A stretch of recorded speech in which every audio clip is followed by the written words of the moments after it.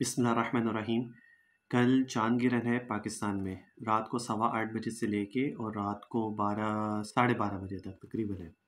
उसके अंदर चाँद गिरन के अंदर तीन अमल किए जाते हैं, ठीक है?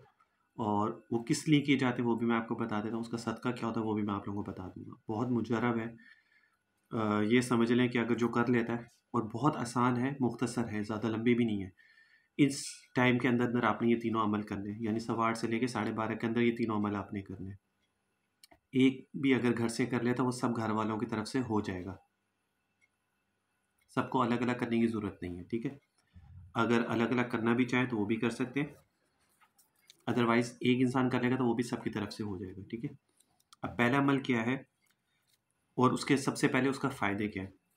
नस्लों में नूर और नूरानियत के लिए, नस्लों में, जो आपके आगे नस्लें आने वाली हैं। ठीक है? बहुत सारी चीज़ें ऐसी होती हैं जो सिर्फ़ आप तक महदूद नहीं रहती हैं, वो आगे तक मुंतकिल होती हैं।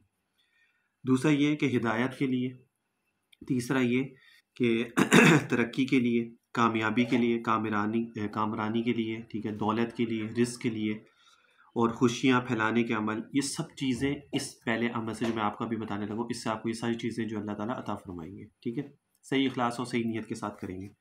सबसे पहले आपने क्या करना है? एक मोमबत्ती आप जला लें। मोमबत्ती जलाने के बाद आपने उसको देखते रहना मोमबत्ती को और आपने ये दो अल्फाज अल्लाह ताला के नाम है।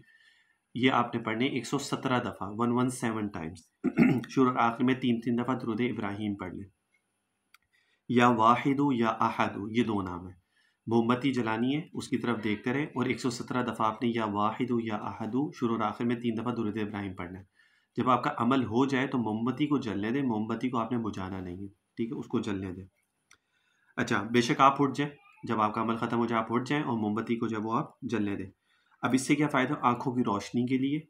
वो जो मोमबत्ती जलती रहेगी ना, उसकी नुरानियत आगे, आँखों की रोशनी के लिए, दिल की रोशनी के लिए, ठीक है? कदम बा कदम आगे रोशनी फैलाने के लिए, पेशानी पर बख्त नूर की रोशनी मिलेगी, ठीक है? और ये रोशनी जो है वो खैर और बरकत कामों में हमेशा आपका साथ देगी। ठीक है? असल तो वो साथ जो देंगे वो दो नाम अल्लाह ताला के जो आपने अमल किया होगा। लेकिन ये क्योंकि इसका इसमें बहुत अमल दखल है, इस वजह से। ठीक है ना? अच्छा फिर जब आपका ये अमल हो जाए, जब वो ख़त्म हो जाए तो फिर दूसरे दिन, जो अगले दिन, यानी कल जुम्मा है, हफ़्ते वाले दिन, कोई भी मीठी चीज़ आप उसको जो है वो तकसीम कर दें। ठीक है? बस, ये पहला अमल हो गया इसके अंदर। ये अमल है, छोटा मुख्तसर सा बस। अब इसमें क्या मुश्किल से मुझे जहाँ तक ख्याल है कि आपका पाँच मिनट या दस मिनट मुश्किल से आपके लगेंगे और आपका ये अमल मुकम्मल हो जाएगा। क्योंकि आपने तो वहाँ पे तब तक थोड़ी बैठे रहें जब तक वो मोमबत्ती पूरी ख़त्म नहीं हो जाती। वो तो जलती रहेगी, उसको जलने दें। आपका अमल है, आप करके उठ जाएँ वहाँ से बस। उसकी जो नुरानियत, उसकी जो बरक़ात है वो आपको मिल जाएँगी इन ताला। ये जो होता है ना, चाँद गिरन, सूरज गिरन में, ठीक है? और इसी तरह जो मुख्तलिफ़ दिन आते हैं जो बड़े इंपॉर्टेंट डेज़ होते हैं। ये जो अमल करने वाले लोग होते हैं ना, जो शरी तौर पे सही तरीके से करने वाले होते हैं, इन लोगों को इस चीज़ के बारे में बड़ा इल्म होता है, ठीक है ना? तो इस वजह से ये लोग उन दिनों के हिसाब से भी जो भी अमलियात के जो भी वज़ाइफ होते हैं, तस्बीहात होती हैं, वो आप लोगों तक शेयर कर देते हैं, ताकि आप लोगों के लिए आसानी हो जाए और बहुत सारे इससे फ़ायदे इंसान को आगे नस्लों तक मिलते हैं। अब जिसको नहीं यकीन वो ना करें, जिसको यकीन है जो करता है, हम इसको जायज़ समझते हैं, शरीयत इसको जायज़ समझती है, इसमें कोई हर्ज नहीं है।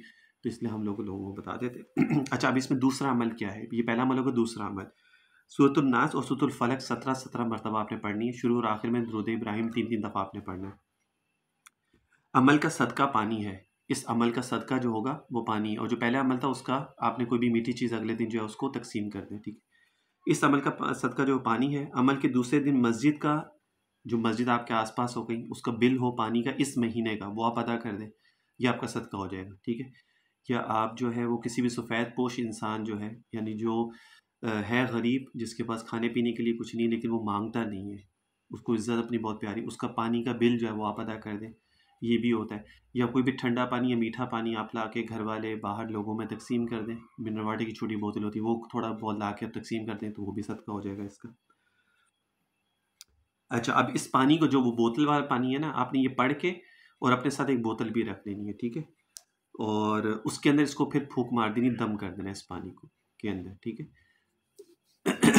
वो जो पानी होगा ना, जो आपने दम किया होगा, सो तो फलक, सो तो नाश सत्रह दफ़ा पढ़ के जो पानी आपने दम किया, वो फिर आपने उसको अपने पास रख लेना। अब उसके क्या क्या फ़ायदे हैं, वो मैं आपको बताता हूँ।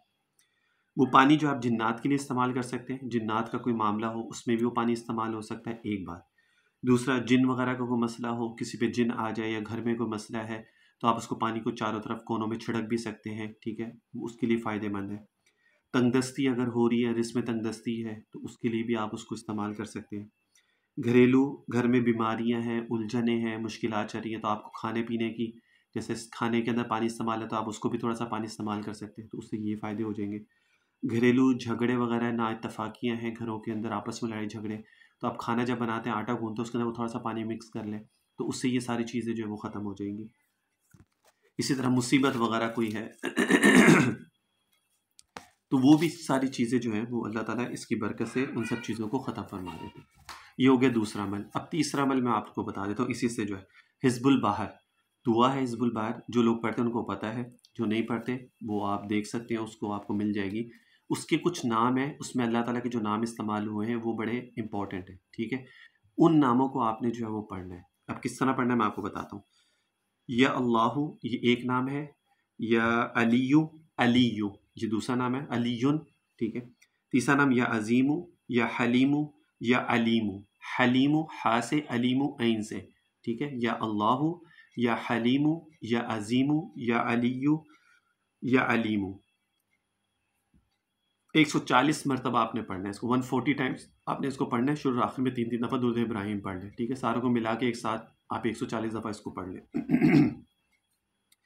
जब आप इसको पढ़ रहे हो ना, इन नामों को जब पढ़ रहे हो तो अपनी जो भी आपकी परेशानियाँ हैं मुश्किल हैं, रिस्क में तंगी है, जो कुछ भी उसको अपनी तवज्जो उसकी तरफ़ रखें। तंगदस्तियाँ हैं, नाकामियाँ हैं, उलझने हैं, घरेलू झगड़े हैं, बंदिश है, तलाक है, ठीक है ला इलाज बीमारियाँ हैं। उन सब चीज़ों का तस्वुर करते हुए आपने नामों को पढ़ना है। ऐसे नहीं पढ़ना कि रट्टा मारे या अल्लाह या अलीम या अजीम या हलीम या अल्लाह या अलीम या अजीम नहीं, जब पढ़ रहे हो तो तवज्जो आपकी पूरी इन नामों की तरफ़ होनी चाहिए, ठीक है? और नामों की तरफ़ भी हो, और जो परेशानी आपके जो भी हैं, मसले, मसाइल जो भी, उनकी तरफ़ आपको पूरी तस्वुर उसका जहन में रखे और उसको पढ़े। अमल के बाद दूसरे दिन जो है, सात अदद जिन्स आपने लेनी है। सात चीज़ें आपने लेनी है। जब आपका ये अमल, जैसे कल अगर आप ये करते हैं तो आपका अमल मुकम्मल हो जाएगा। फिर आपने सात चीज़ें लेनी है वो सात चीज़ें क्या है मैं आपको बता दूँ। गंदुम, जो, जवार, मकई, बाजरा, चावल और मूंग की दाल, ये चीज़ें जो आम आपकी, अक्सर चीज़ आपके घर में ही होंगी। जैसे गंदुम है, जवार है, मकई है, बाजरा है, जो है, चावल है और मूंग की दाल है।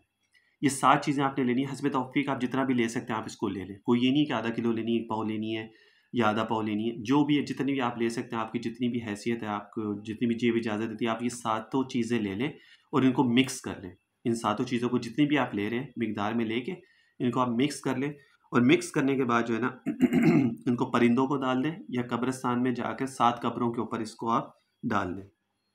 तो ये इसका, पूरे घर की तरफ़ से इसका हदिया जो है, वो पूरा हो जाएगा। क्योंकि हर अमल का जो है ना, एक सदका भी होता है, ठीक है? जो अमलियात करते हैं, उन लोगों को इस चीज़ का आइडिया है। ज़क़़त होती है, कुछ अमल का ज़क़़त, किसी का सदका होता है। तो जो पहला अमल था, उसकी सदका ये था कि कोई मीठी चीज़ तकसीम करे, दूसरे का वो पानी का था, जो मैंने आपको बताया। तीसरा ये था कि सात जीन्स लेके इनको मिक्स करके तो परिंदों में और सात कब्रों में कब्रस्तान पे जाके डाल दें, ये सब की तरफ़ से हदिया हो जाएगा, ठीक है? तो वो जो कब्रस्तान पे जो आप डालेंगे ना तो इन ताला कोई ना कोई वहाँ की जो मखलूक होती है, जो भी अल्लाह की, वो उसको खा लेती है। ये अमल है चाँद के रंग का, जो कल है आप इसको कर सकते हैं, बहुत आसान है, मुश्किल से मुश्किल से तकरीबन को पंद्रह मिनट का ये अमल है, तीनों अमल अगर आप करेंगे तो पंद्रह से बीस मिनट के।